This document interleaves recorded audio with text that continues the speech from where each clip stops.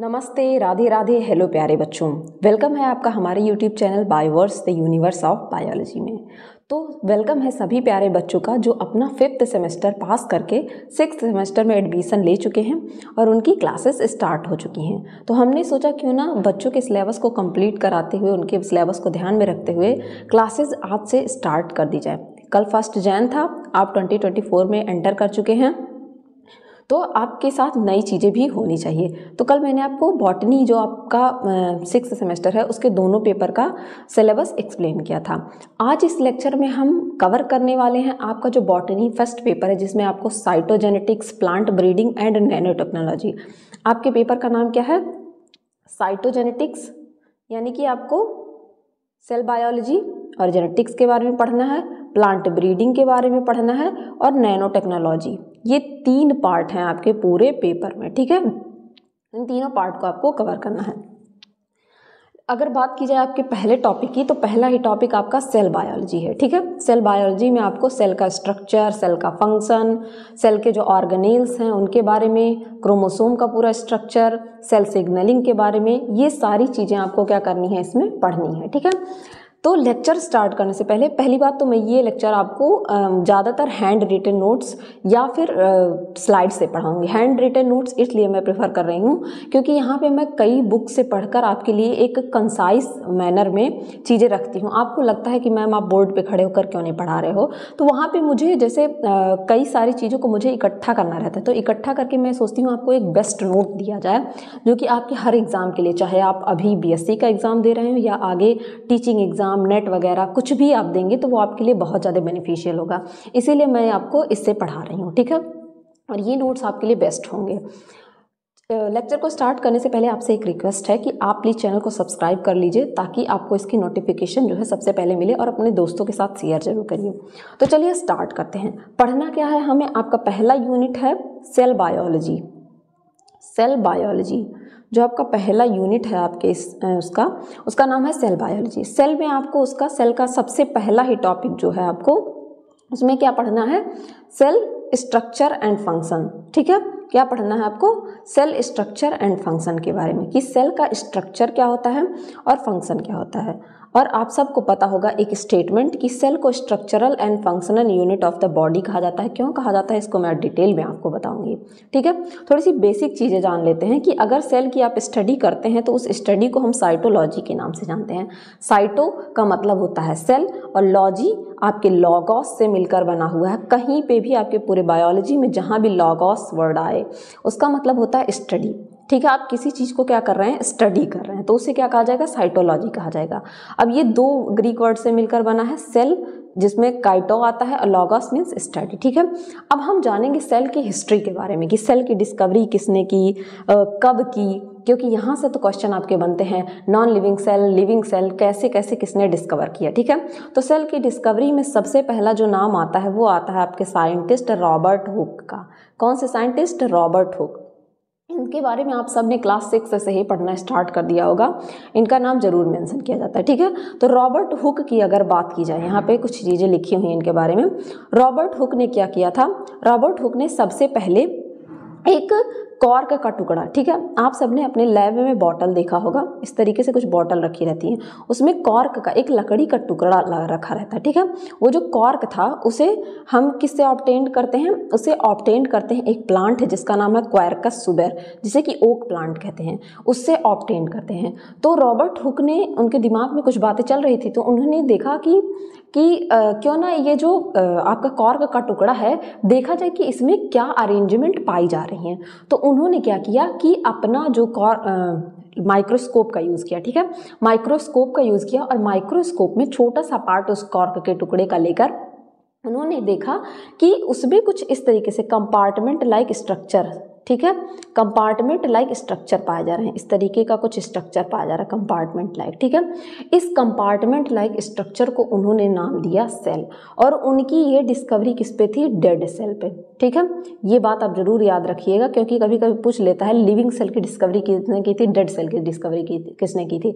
तो आपको ये बात पता होनी चाहिए कि जो रॉबर्ट हुक थे, उन्होंने 1665 ईयर था 1665 डेड सेल कॉर्क के टुकड़े को लिया और माइक्रोस्कोप में देखा। तो उन्होंने कुछ कंपार्टमेंट लाइक स्ट्रक्चर को देखा। इस कंपार्टमेंट लाइक स्ट्रक्चर को उन्होंने नाम दिया सेल ठीक है?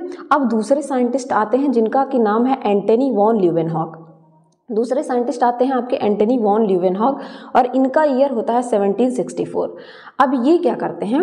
ये जो रॉबर्ट हुक थे, उन्होंने क्या किया था कि एक नॉन लिविंग सेल को लिया था। लेकिन अगर एंटनी वॉन ल्यूवेनहॉग की हम बात करते हैं तो इन्होंने क्या किया? लिविंग सेल का यूज़ किया था, और वो लिविंग सेल था रॉड लाइक बैक्टीरिया अगर आप सबने अभी तक बैक्टीरिया पढ़ा होगा तो आपको पता होगा कि सर्कुलर विब्रियो कई सेप के क्या होते हैं? आपके बैक्टीरिया पाए जाते हैं। तो इन्होंने जिस बैक्टीरिया का यूज़ यूज़ किया था रॉड लाइक बैक्टीरिया और एंटनी वॉन ह्यूलिवन हॉक ने, ने जो माइक्रोस्कोप यूज़ किया था उसकी रेजोल्यूशन क्वालिटी और उसका जो देखने का पावर था वो उसकी मैग्नीफाइंग पावर जो थी वो जो रॉबर्ट हुक ने अपने टाइम में माइक्रोस्कोप का यूज़ किया था, उससे बहुत ज़्यादा बेटर था।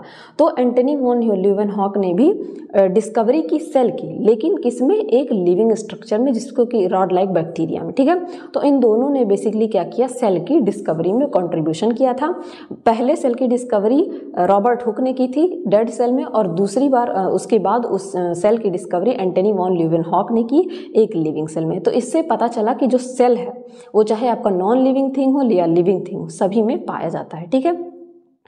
अब दूसरी थियरी जो आती है सेल को लेकर, उसको हम सेल थियरी के नाम से जाते हैं, जाने जाते, जानते हैं, ठीक है? सेल थियरी में बेसिकली दो साइंटिस्ट आपके बहुत ज़्यादा रोल प्ले करते हैं। शुरू में जो सेल थियरी की डिस्कवरी हुई थी तो सेल थियरी में सबसे पहले जो साइंटिस्ट थे, उन, वो थे आपके जर्मन बॉटनिस्ट जिनका नाम था स्लीडन मैथ्यूस स्लीडन ठीक है? मैथ्यूस स्लीडन 1838 में, ठीक है? और दूसरे साइंटिस्ट थे, इन्होंने अलग डिस्कवरी की। मैथ्यूस स्लीडन ने 1838 में एक अलग डिस्कवरी की सेल के ऊपर ठीक है? खोज किया। और फिर उसी के बाद ब्रिटिश जूलॉजिस्ट एक थे, ये ब्रिटिश के थे और ये जर्मन के। आज दोनों लोग अलग अलग जगहों पे खोज किए थे। लेकिन जब इन्होंने देखा कि हमारी जो थियरी वो खोज है, वो डिस्कवरी है, वो सिमिलर है तो इन्होंने एक साथ पब्लिश किया था एक थियरी को, जिसे कि सेल थियरी के नाम से जाने जाते हैं। तो सेल थियरी के बारे में एटीन में ब्रिटिश जूलॉजिस्ट स्वान, जिसको कि थियोडर स्वान के नाम से जाना जाता है, इन्होंने डिस्कवरी की, ठीक है? इन दोनों ने मिलकर दो स्टेटमेंट दिए, उस स्टेटमेंट में इन्होंने कहा कि जो सेल होता है ठीक है? वो ऑल लिविंग ऑर्गेनिज्म जो होते हैं, वो सेल से मिलकर बने होते हैं। कोई भी अगर लिविंग ऑर्गेनिज्म है तो वो किससे मिलकर बना हुआ है? सेल से मिलकर बना हुआ है। और सेल को इन्होंने कहा कि बॉडी की ये स्ट्रक्चरल एंड फंक्शनल यूनिट है। अब स्ट्रक्चरल एंड फंक्शनल यूनिट को आपको यहाँ समझना होगा। स्ट्रक्चरल से मतलब क्या है? आपकी बॉडी में सेल है। सेल सेल किससे बना है? इलेक्ट्रॉन प्रोटॉन न्यूट्रॉन से मिलकर। सेल के बाद टिश्यू आते हैं। टिश्यू के बाद क्या आता है? ऑर्गेनेल्स आते हैं। ऑर्गेनेल्स के बाद ऑर्गन सिस्टम आता है। फिर आपकी पूरी बॉडी बनती है। तो आपकी बॉडी का फॉर्मेशन कहाँ से हो रहा है? एक छोटे से सेल से, ठीक है? एक छोटे से सेल से। जैसे मदर के वूम्ब में एक बेबी का फॉर्मेशन पहले स्पर्म और ओवा के मिलने से जाइगोट का फॉर्मेशन होता है। उसी तरीके से सेल जो है, क्या है? स्ट्रक्चरल यूनिट है, यानी कि पूरे स्ट्रक्चर का फॉर्मेशन का स्टार्ट एक छोटे से सेल से हो रहा है। दूसरा फंक्शनल यूनिट फंक्शनल यूनिट आप कोई भी फ़ंक्शन ले लीजिए माइटोकॉन्ड्रिया एटीपी प्रोड्यूस करता है। आपका फोटोसिंथेसिस होता है क्लोरोप्लास्ट में।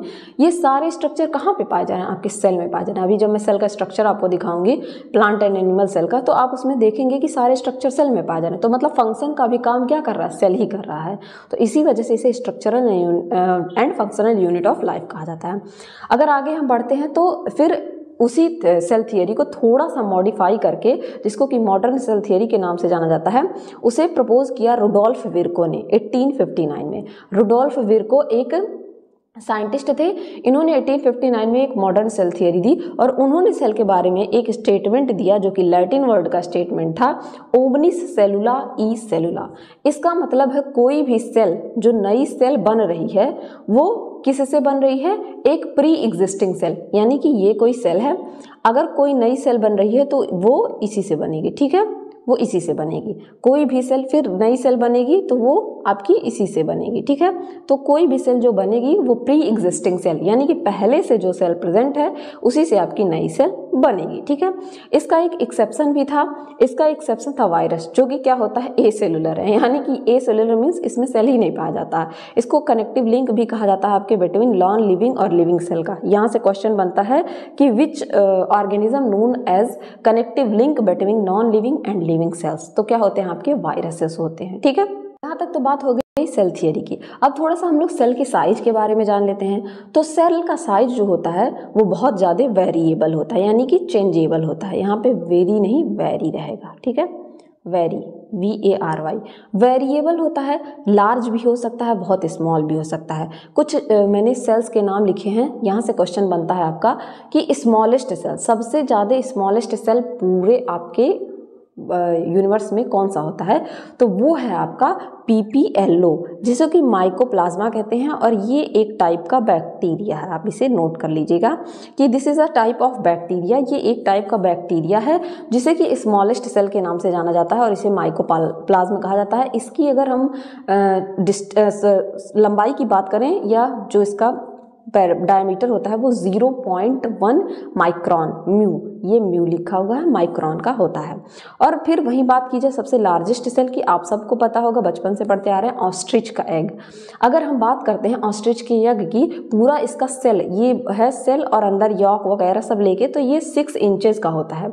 लेकिन अगर हम इसके ऊपर की कवरिंग को निकाल दें तो ये थ्री इंचेस का होता है। कितने का होता है? थ्री इंचेस का। बात करते हैं लॉन्गेस्ट सेल की। इस, अभी तो बात की आपने लार्जेस्ट सेल की। मतलब जो सबसे लार्ज था लॉन्गेस्ट सेल मतलब लंबाई में जो सबसे बड़ा हो तो वो आपकी होती है नर्व फाइबर या नर्व सेल्स आप इसको ज, अम, कह सकते हैं कि ये 90 सेंटीमीटर आप जो स्केल यूज़ करते हैं अपने घरों में 15 सेंटीमीटर वाली उस 15 सेंटीमीटर स्केल के आप अंदाज़ा लगा सकते हैं कि 19 सेंटीमीटर कितना होगा ठीक है? फिर एक सेल पाई जाती है यूनिसेलुलर एल्गा ठीक है? यूनिसेलुलर एल्गा मतलब एक ही सेल से पूरी एल्गी बनी हुई है जिसका कि नाम है एसिटेबुलेरिया जो कि टेन सेंटीमीटर सेंटीमीटर का होता है, ठीक है? वो वो पूरी एलगी ही आपकी एक सेल ये जितनी भी लंबाई इसकी होगी, वो एक ही सेल होगा। मतलब 10 सेंटीमीटर लंबा एक सेल पाया जाता है, जिसको कि क्या कहते हैं यूनिसेलुलर एल्गा जो कि है आपका स्टेबुलेरिया और ये बहुत इंपॉर्टेंट है मोस्ट इंपॉर्टेंट आप नोट कर लीजिए, अगर आपके एम बेस्ड क्वेश्चन हो रहे हैं तो यहाँ से क्वेश्चन ज़रूर बनेगा। देन हम बात कर लेते हैं अगर सेल के नंबर की तो सेल का नंबर भी क्या होता है वेरिएबल होता है। यूनिसेलुलर हो सकता है, जैसे कि ईस्ट में मतलब एक ही सेल में पूरा फ़ंक्शन हर फ़ंक्शन एक ही सेल में होगा। या मल्टी सेलुलर हो सकता है, जैसे कि आप ह्यूमन को कंसीडर कर सकते हैं। एक डेटा बताता है कि एक 80 किलोग्राम का जो ह्यूमन है, उसमें लगभग sixty thousand billion sixty thousand billion cells देखे गए हैं ठीक है? अगर एक 80 के का ह्यूमन उसमें 60,000 बिलियन आप कल्पना भी नहीं कर सकते कि कितना बड़ा ठीक है? अगर बात कर लें सेल सेप की ठीक है? सेल सेप की बात कर लें तो सेल का सेप चेंजेबल होता है स्फेरिकल हो सकता है पॉलीगोनल हो सकता है डिस्क लाइक हो सकता है ठीक है? क्यूबॉइडल हो सकता है क्यूब लाइक हो सकता है। तो सेल का सेप क्या होता है? बहुत ज़्यादा वेरिएबल होता है। यह और सेल के शेप की बात करें तो ये सेल अपने अकॉर्डिंग क्या करते हैं, अपनी बॉडी को चेंज भी कर लेते हैं। जैसे कि आपने अमीबा का नाम सुना होगा, ठीक है?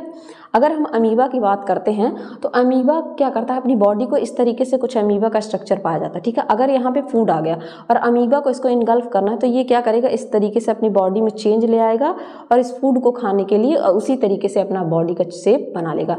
दूसरा एग्ज़ाम्पल अगर आप लेते हैं चेंजेबल फॉर्म का तो ल्यूकोसाइड्स ल्यूकोसाइड्स जो कि क्या होती हैं आपके? डब्ल्यू डब्ल्यू की ग्रेनुलेटेड सेल होती हैं, ठीक है? डब्ल्यू बी सी की ग्रेनुलेटेड सेल हैं तो ये क्या करती हैं? ये भी क्या करती हैं? अपना सेप चेंज कर लेती हैं। जैसे अगर आपकी बॉडी में डिफेंस का काम कौन करता है? आपकी बॉडी को प्रोटेक्शन एंटीबॉडी देती है और एंटीबॉडी में सबसे ज़्यादा ज़रूरी होता है आपका ल्यूकोसाइट अगर ल्यूकोसाइट आपकी बॉडी में है तो वो क्या करता है? जिस हिसाब से आपका पैथोजन आएगा, उस हिसाब से अपनी बॉडी को चेंज कर लेगा।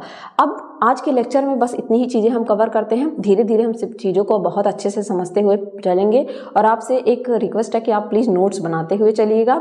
और इसके आगे के लेक्चर में हम सेल का टाइप पढ़ेंगे और एनिमल सेल प्लांट सेल में डिफरेंस के बारे में पढ़ेंगे। तब तक लिए पढ़ते रहिए, बढ़ते रहिए। Thank you everyone